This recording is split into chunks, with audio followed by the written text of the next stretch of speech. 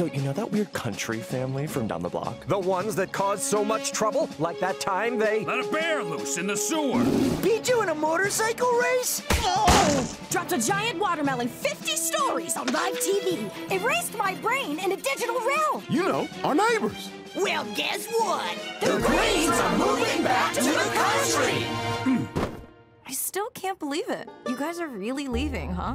yeah, it's pretty crazy. But the plan was always to stay at Ma's until we were able to get back on our feet. And after living here in Big City for a while, I'd say we're back on our feet. So when I saw our old country farm up for sale, I knew it was time to go back home.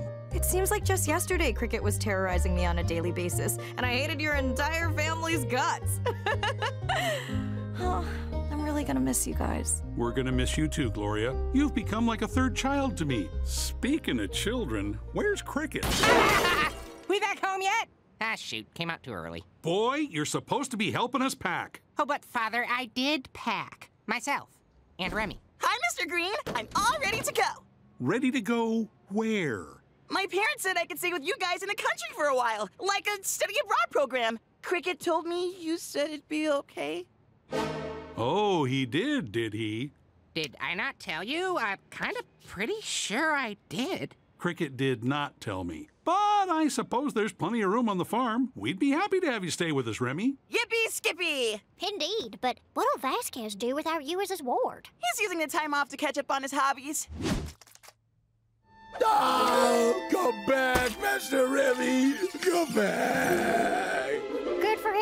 Ma, would you mind giving us a hand? We're on a time crunch. Yeah, yeah, I'm coming. Uh, new glasses? No, I always wear these. Thanks for noticing.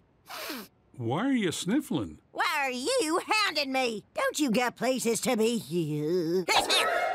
Rats. Grandma. You're sniffling because you're sad. Don't worry. We'll come back to visit you. Oh, I know. I'm fine. It's just these dang tear ducks betraying my will. Y'all know I'd come with you, but it's my duty to stay here with my family home. Besides, I gotta make sure that one don't tank my cafe investment. Hey! Mama's ready to move to the country. Mama! Hey, Nance, you know, you're welcome to live in the farmhouse. You don't need to lug that big old trailer around. I appreciate it, Bill, but I like things as is with our separate living arrangements. Works for me. Well, I think it's about time to hit the road. You kids ready to say goodbyes? I think I am. Just gotta get one last look. Wow, we sure did make a lot of memories in this place. That we did, brother. That we did. Goodbye, Grandma's house. Goodbye, Big City. Goodbye, Tilly. We sure will miss you.